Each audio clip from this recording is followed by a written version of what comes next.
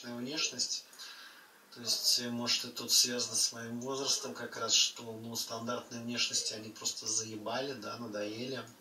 Все, ну, стандартные там, ну, типа краса. Тулишься ты часто и напоминаешь, как маленького котенка, который вот когда шипит, спину выгибает.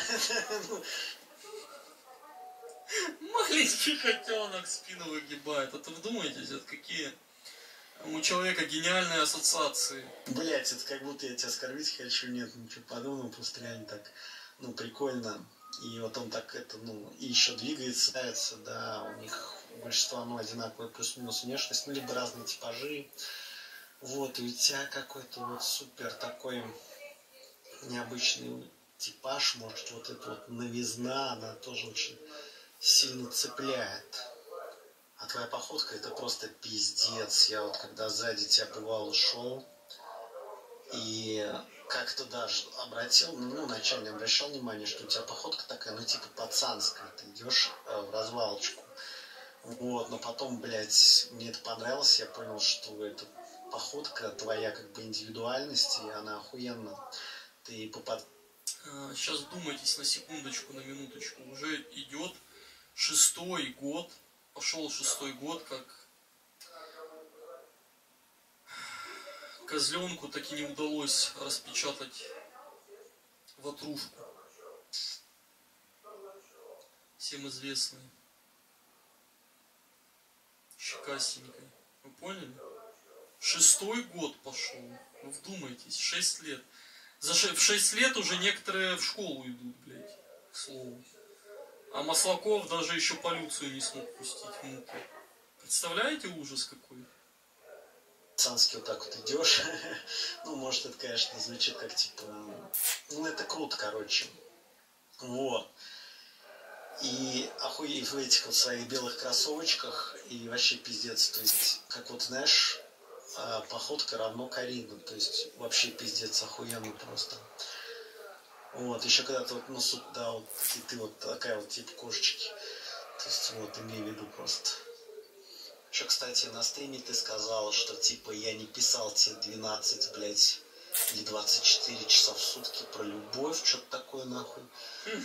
Вот, как я тебе мог это писать, если когда мы стали выяснять отношения, мы где-то два часа переписывались, и ты сказал, все, если там будешь мне писать, я тебя забаню. То есть вообще нахуй ты вот так вот все время врешь и искажаешь факты. Как вот я мог тебе писать, если ты мне сказал, что забанишь, и я перестал тебе писать, но потом еще через несколько дней типа написал, и ты меня уже забанила. То есть это было в принципе... А, и вы вдумаетесь, вы просто вдумайтесь. Человека в этот момент арена уже на грани закрытия. Он, записывает какую-то хуйню, блядь, малолетки. Я хуею. Вот у человека приоритеты, блядь. Вот он бизнесмен, настоящий кризис-менеджер от бога. Вот его в Microsoft надо отправить, блядь, чтобы он там бизнес наладил и производство процессоров, блядь. Представляете, вот если бы он был там в союзе директоров, в совете директоров, он бы там, блядь, Windows 13 уже выпустил, Windows 15. Они бы на месте уже по 10 лет бы не топтались и Windows 11 не была бы таким говном. Вот его надо на работу призывать, блядь, а не в Сквирту. Вот он в Сквирту Systems потерял драгоценные годы, он бы мог бы уже стать каким-нибудь крупным менеджером в Америке, блядь, в Силиконовой долине, как этот, как Билл Гуитс какой-нибудь. Зря, зря. Вот, вот видите, вот, блядь, девки отвлекают, блядь, людей от великих дел. Маслаков сам не знает, какой у него есть потенциал. Вот он, блядь, все свои полюции, все силы пускает на протяжении пяти лет пускал в то, чтобы добиться какой-то бурятской школьницы. А вместо этого мог бы их пустить в нужное русло, так сказать, в компьютер. Я до сих пор не понимаю, зачем он записывался, чтобы потом оправдаться якобы. Да нет, это, ну... Это называется отсутствие опыта, чувак. Все такой кринжой страдали, но просто нормальные люди этим страдают лет 15, 18, ну, ну, львенок, поскольку в пубертате, вот он в 35. Так что это нормально. Windows 333. Возможно, то есть непонятно, зачем ты так вот вообще говоришь, что я тебе не писал. Давайте сторисы будут 24 на 7, блядь, писать, если хочешь. Если это как-то поможет, я не знаю, как это может помочь. Вот, тогда вот жаль, что я тебе голосом, правда, не говорил, потому что что-то я тогда, блядь, ну, когда мы типа выясняли, что не знал, как, блядь, с этого ебучего мобильного ВК отправить нахуй голосовое, а чуть не догадался, блядь, версию для компа включить. Короче, тупанул, получилось тоже хуевато немножко. Хотел бы сказать, что когда мы первый раз встретились, ну, вот, типа, в метро на Игромир, да, где я еще сказал, что двери, типа, напротив тебя остановились. Ну, это вроде реально так вот, насколько я помню, было. Мы пошли, когда мы подходили к турникетам, то есть там некоторое время надо идти, там, помнишь, подниматься, короче. Вот. Короче, мы шли к турникетам, я, по-моему, чуть-чуть приотстал. И ты такая вперед шла, такая высокая, в то же время маленькая. Я так думал, о, прикольно. Ну, уверенно так шла, короче. И я за тобой перся, типа, ну, взрослый чувак, типа, за тобой.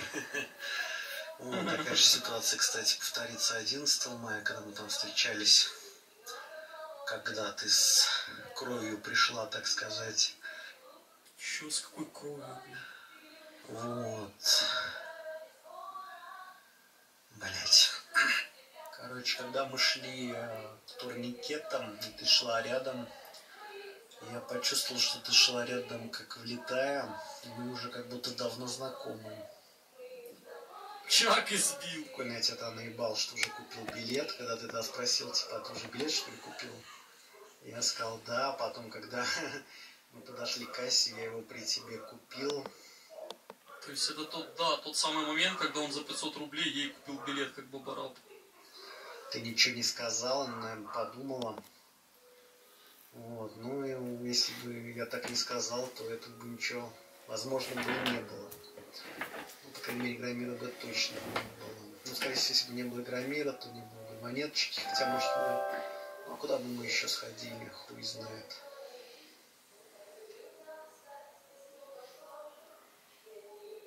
Поняли?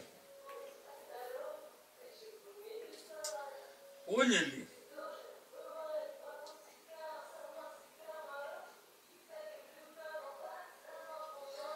Представь, сколько раз она за это время отдавалась кому-то, сколько хахали у нее было. Она даже, наверное, со счета сбилась. Ну, возможно. Не знаю. Я за ней не слежу, это к Ванятке надо вопросы задавать, с кем она трахалась и сколько. Он, он-то точно знает. Но она явно не походит, конечно, на какую-то там, бля. Няшу стесняшу, мягко говоря. Ну, ладно. Так, тут говорили комменты читать. Скажи, пожалуйста, а почему а, одним женщинам дарят машины, квартиры, а другим не дарят ничего вообще? Ах, ну потому что я не... О, это же кринж-психолог, который мужиков учит, э, как правильно под баб прогибаться. Женщины позволяют себе быть женщинами, а другие не позволяют. Вот Вот его тоже хейтят многие там, всякие МДшники, типа. Да. мы берем женщину, которая пришла в отношения с мужчиной в позиции уничтоженной самооценки, неуверенной в себе, с опустошенной внутри. То есть она, в принципе, является для мужчины токсичной.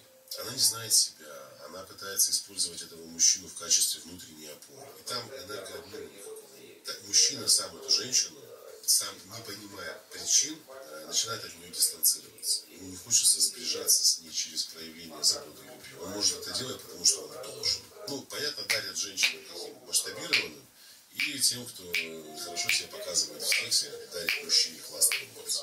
Если мы говорим там про архетипы женские, чаще всего подарки получают женщины архетипы эмоций.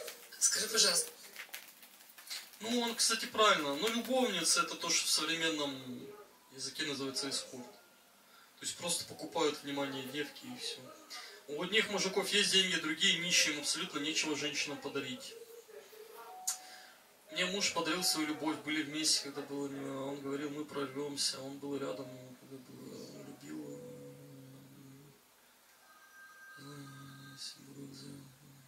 на машинах, это квартирах, как все мелко и меркантильно. А я-то думаю, почему вчерашним эскортницам папики дарят машины, квартиры? Все потому, что они наполнены и масштабированы.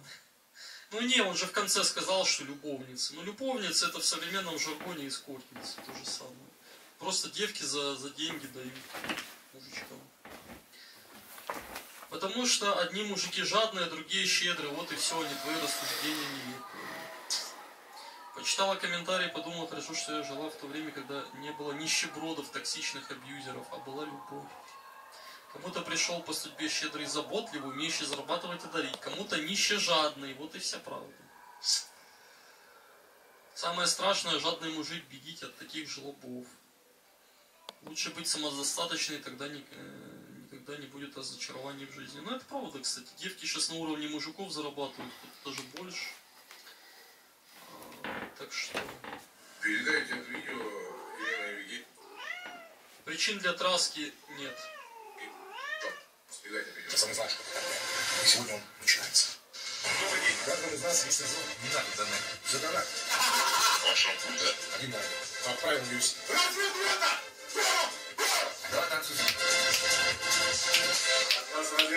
И он в жопу лизал. Я его спрашивал обязательно. Это вода. Это. Главное, чтобы добровольно все нашел. А? Ты сидит. Мужиком, блядь. Какую художественную литературу ты предпочитаешь? Терпение надо иметь. Слышали, что человек сказал? Терпение. Знаешь, Если честно, я не считаю. вообще? Думай, Турет. Я служил в Собчинской спецзване, я служил в армии. Я не люблю драться просто. Ну, меня поставить просто и все. Кто сильнее, тот прав. А, давай.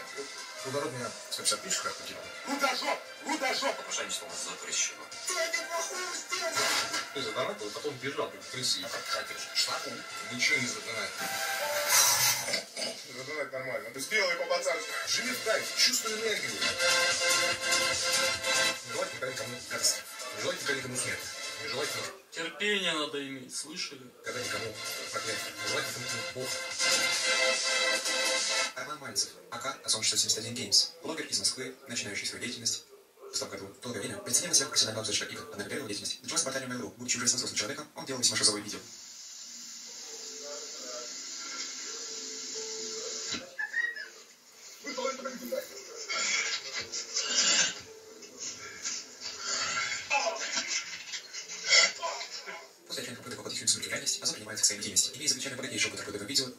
И продажи дисков, он гонимается за собственный обзор. Дикендокс, Disfinded, XCOM, Тратис Специальный Edition. Здравствуйте, дорогие любители компьютерных игр. Меня зовут любитель компьютерных игр и все знающий Азот 671. Сейчас вам расскажем о игре Flashpoint 2. Там даже траву привезли специально, чтобы был похож на настоящий звук. Разработчики не делали графику на самом деле. Они просто взяли диск и туда напихали. Да, вы напихали туда. Туда не есть напихали. С вами Озон 671. И сегодня поговорим о игре Вытек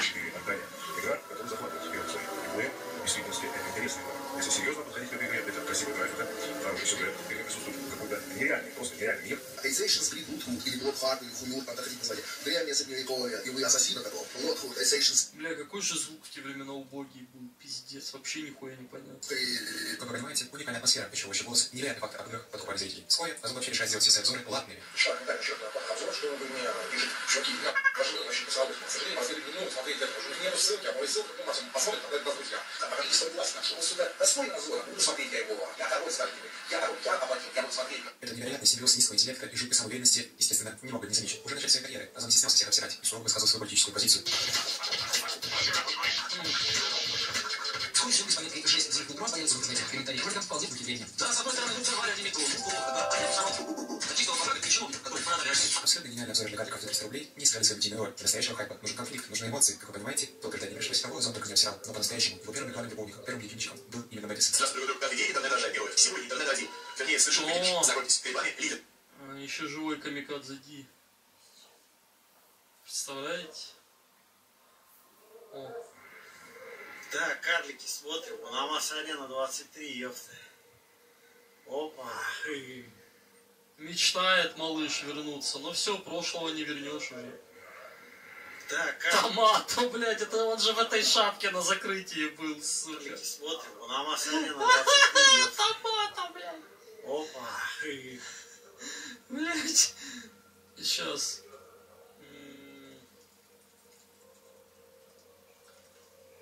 Арены. М. Бля, где этот ролик?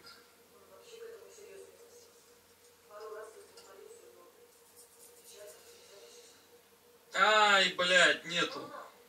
Вот здесь он, по-моему. Томато, блядь. Где там наш томато?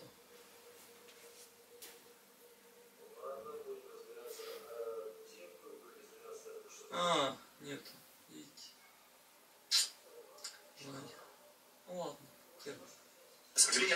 У Мейдисона вообще много сопротивляться, но видео пользователя Озон 671 Games равнодушно остановить не может практически никого. Андрей Куликов, и он за хорошие игры.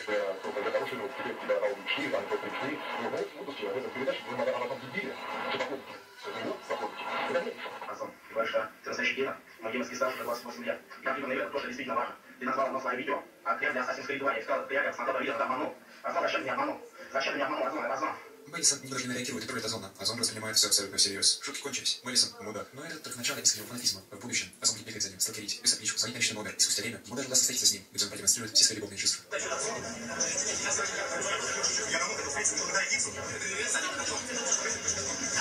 Улице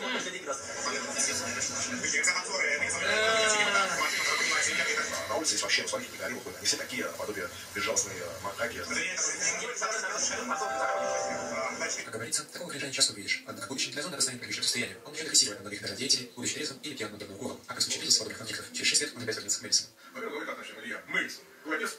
В любое время, в любом месте, один на один. Вызываю тебя. Один на один, блядь. Так, что там? А ты ведь тоже терпишь. Прячешь терпение за разумизмом, но мы-то знаем. Конечно, я терплю, и ты терпишь, все терпят. Даже Мордашов терпит, я это много раз говорил уже. И Абрамович терпит. И Усманов терпит, все терпят, еще раз говорю, все абсолютно. Илья, Мейсона, на бой. А зритель уже может заметить некую странность. Обсирая человека, потом пишется на него. Затем опять «Я пытаюсь убить, это не шизофрения?» Однако очень забавно выглядит попытка Озона поговорить с Мэдисоном, с Фековым Мэдисоном. Алло, да. Илья? О чем я не хотел отвечать? Че, блядь, что я должен отвечать? Ну, блядь, я тебе сделал обращение, ты знаешь, знаешь, ну, как так, ёпта, вот ты скажи, пожалуйста. Да вот иди, а, знаешь, в свое местное корыто, блядь, жри дерьмо местного осадка, ты говоришь. Ну, не хочешь драться, это просто жестко. Нет, я с удовольствием, не с тобой, потому что ты, блядь, как муху задавить, понимаешь? Смысла нет даже. А я накачан сексуальный мачо, блядь. Не нужно недооценивать сложную фантазию Озона. Он быстро все исполнил, дай ему волю. Также очень хочется вспомнить другой зеленый Озона. Когда он наехал, упустил господи на Лисака, Озон был уж очень расстроен, с просто захотел встретиться и вызвал его на бой. Я захочу тебя найти, я найду. Это лично писал, блядь. Давай с тобой встретимся. Я сказал, какой, блядь, выгоды. Ты что, Юрий Озон сам написал? Давай, поверим. Ты что,